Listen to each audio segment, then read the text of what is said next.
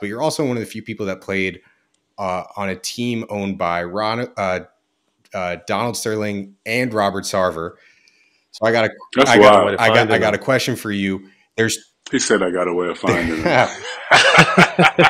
so we're gonna play a little game, but first I want to ask if you had to go out and just have a, a, a night out with Robert Sarver or Donald Sterling. There are only two doors he had to do. Who would you choose? Oh, Mm. Donald Sterling maybe a little bit I creepy. not. I, you got to go. You got to choose one. I, I, I, I probably just wouldn't go, Dylan. Um, if I had to choose one, I don't know. Sarver, I never had no issues with either of them while I was with them, and I never had no issue with Sterling the whole time. To be honest with you, like when that shit came up, I'm like, my motherfucking high school was almost burned down by the KKK. I'm not worried about what this old ass man is saying. Um, I had a problem with uh, uh, um, Sarver after I left Mhm. because he said some slick shit to one of my homies on the team, and they literally told me right after. I'm not going to give his name away, but they told me so. I didn't have a problem with Sarver there. Uh, to answer the question, I would probably uh, I would go with Sterling just because I really don't fuck with Sarver. Have you guys read? Have you, have you shout out to Baxter Holmes who follows the page and he broke that Sun story. Have you like read or seen some of the things that the people within the Suns organization, like hundreds of people, said that Sarver did? I can see the. Mm-hmm. I never personally saw those mm-hmm. type of actions, but he's out there. He's loud. He always has to be the the, the center of attention at, at events. He's like he's like rat boy entitled like energy and like nothing you know whatever he does just goes you know what i mean so when i when i heard what they said he did i'm just like i can only imagine Are you guys cool with playing a little game and me reading off some of the things that confirmed he did? sure All right. We can say Playing what all is day. it true or No, false? so so so we're gonna play a game. No, I mean all these things are true. Like these happened. th- Like this is what people say. Do you guys know the blind rank game? Have you seen those No. videos? So That sounds like so there's there's seven things that he that he did, and without knowing what the next one was, we're gonna play a game.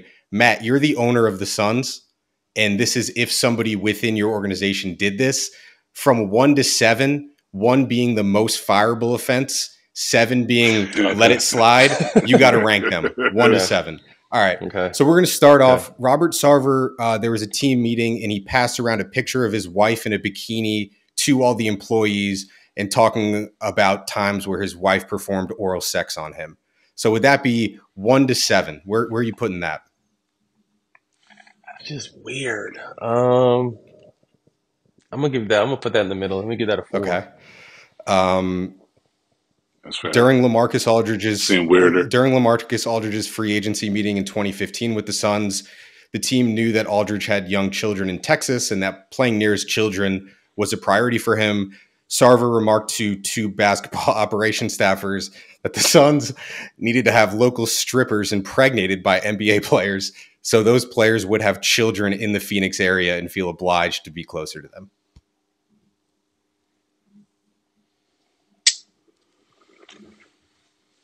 I mean, Um, five.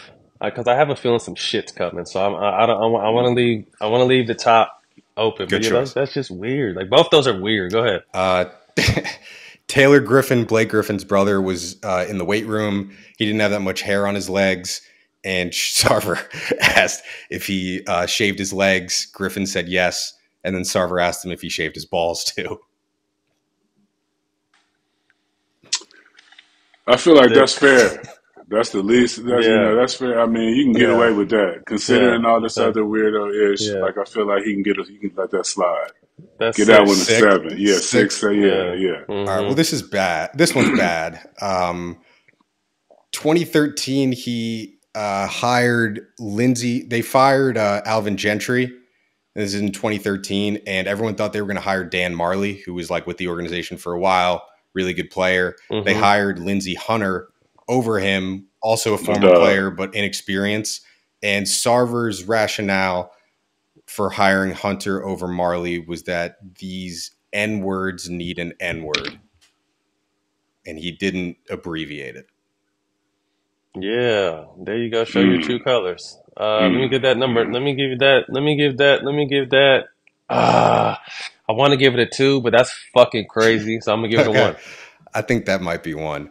Uh, he uh the the Suns needed to really like find their future face of the franchise. The GM Ryan McDonough at the time wasn't uh, finding much success.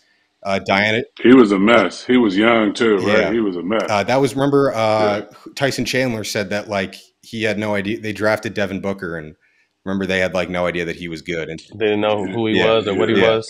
so he was uh, the Mercury, which is the WNBA team, had Diana Taurasi, who was like one of the best players ever.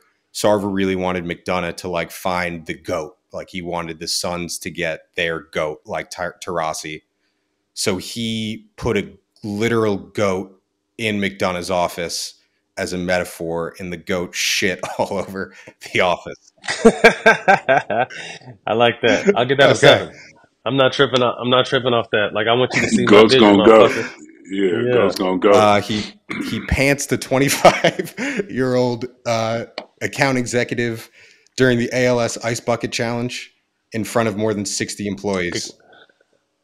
Guy or girl? Guy. Guy. Uh, that's crazy. That's three. Good question. So the la- the, the last one has yeah. If you pant you pants a woman, like that's Yeah, crazy. that's crazy. yeah, he out of there. Uh, So that's three. So this last one has to be number two. Yeah. Hopefully it's good. uh, it's just weird again. I mean, I think uh, four former employees said that in several all staff staff meet all staff meetings, Sarver claimed that he needed to wear Magnum or extra large condoms in just a team meeting. Clown. Clown. Oh man.